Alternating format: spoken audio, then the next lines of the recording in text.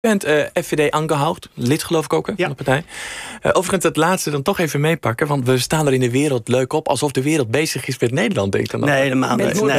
En ook niet met Noord-Brabant, nee. Een groot inzoomen. Ja. Noord-Brabant is het nieuwe, is het nieuwe leven.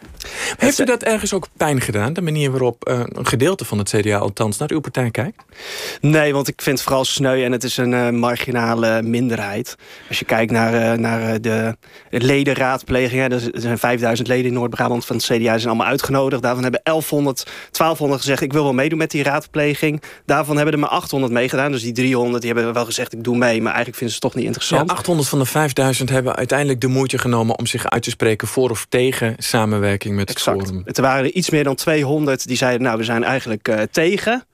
Dus dat is helemaal niks. Van die, dus van die 5000 praat je over 200. En dan heb je zo'n enorme landelijke ophef nou, met de, mensen de helft, als... Uh, 56% van die 800 zegt dan voor. En 44% is dan tegen. Dus nou, dat zullen er ongeveer 400 geweest zijn. Maar van de 5000 is inderdaad niet heel erg veel.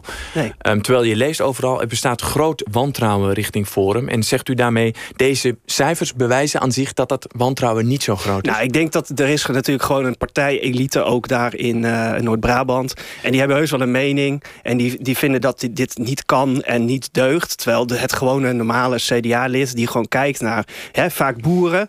Kijken wat zijn nou de alternatieven hier in de provincie. We hebben net een provinciebestuur gehad dat is gevallen.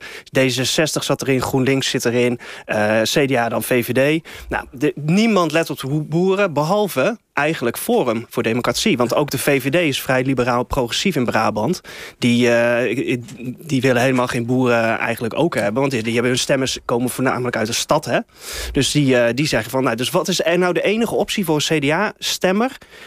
die voor boeren is? Die, nou, dus eigenlijk de enige optie is dat je moet willen regeren... met uh, Forum voor Democratie. Bram en, dat komt nu uit. Ja, u, u schrijft geregeld ook over Brabant, over Zuidelijk Nederland. Um, als journalist schrijft u voor de NSC ook geregeld stukken over... Mm interessante casus, denk ik inderdaad ook. Hè, wat daar nu speelt natuurlijk. Wat valt u daarin het meest op? Nou ja, wat ook wel een beetje wordt aangestipt. Brabant is van oorsprong echt een boerenprovincie. Hè? Dus als je kijkt naar, echt naar vroeger, is de kerk en de boer, dat is eigenlijk Brabant. En de laatste jaren is, is er een soort ontwikkeling geweest, waardoor dat een beetje de andere kant op ging. Die stikstofregels was in Brabant voor het eerst hè, echt de provincie waar dat het strengste eh, was. En nu, met, met deze nieuwe coalitie, lijkt die ontwikkeling toch weer een beetje af te buigen. Dus dat is wel interessant hoe die nou ja, soort van tegenstelling tussen burger en, burgers en boeren in Brabant, hoe dat, hoe dat zich heeft eh, ontwikkeld en nu dus weer uh, een beetje afbuigt. Ja, het CDA-bestuur geeft ook een uh, serie aanbevelingen mee aan de fractie. Um, dit vond ik ook wel grappig. De fractieleden moeten zich inspannen om een echte dialoog te organiseren met de achterban over het bestuursakkoord. Wanneer had u voor het laatst een echte dialoog? Maar nou, nu.